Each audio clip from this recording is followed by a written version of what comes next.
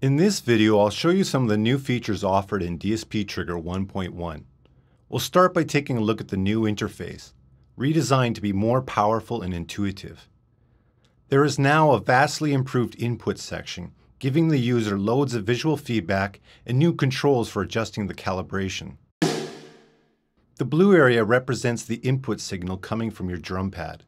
The brown area represents a boundary that the transients must cross before a new hit is registered.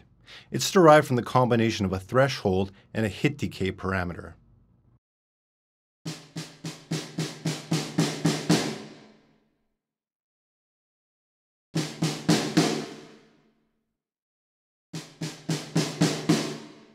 The white curve represents the profile of the last transient. For best results, adjust the threshold and decay to hug this line.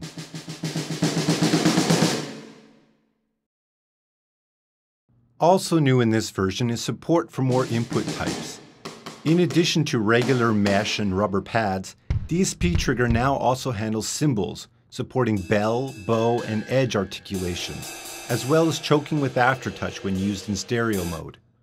There's even a new microphone input, allowing just about anything to be used as a drum pad.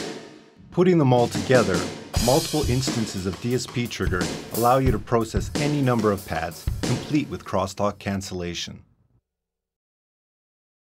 In this version, the velocity of curve controls have also been enhanced. Let's cycle a sample from a mesh snare pad to see how they work. By clicking and dragging in the velocity curve display, you can fine tune how DSP Trigger reacts to your pad. First, we'll pull down the max indicator to scale the maximum velocity downwards. Likewise, we can drag the minimum indicator up to scale the lowest velocity upwards.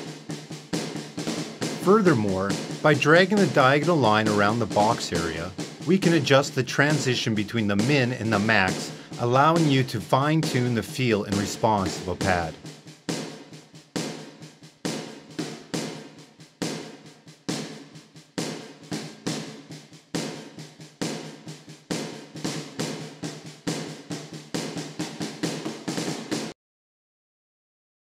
Also new to this version is a preset section. Let's go back to our snare sample to see how presets work. By clicking on a kit piece image, DSP Trigger sets the corresponding note values in the articulation areas. This allows you to quickly switch to playing the hi-hat, for example, or any other kit piece. However, you can also store complete presets to any of the kit piece images. Let's make some changes to the velocity curve to show how this works. Now, by right-clicking on one of the kit pieces, we can select Write Preset to store the current settings in that slot. The preset can be easily recalled by selecting Load Preset from the same menu. Presets are global and are accessible to all instances of the plugin. Previously, I mentioned that DSP Trigger supports crosstalk cancellation between multiple instances of the plugin. However, crosstalk cancellation is also applied to MIDI passing through the plugin and onto a sampler. This is important if you plan to use DSP Trigger in combination with an existing kit. Here's what can happen without crosstalk cancellation.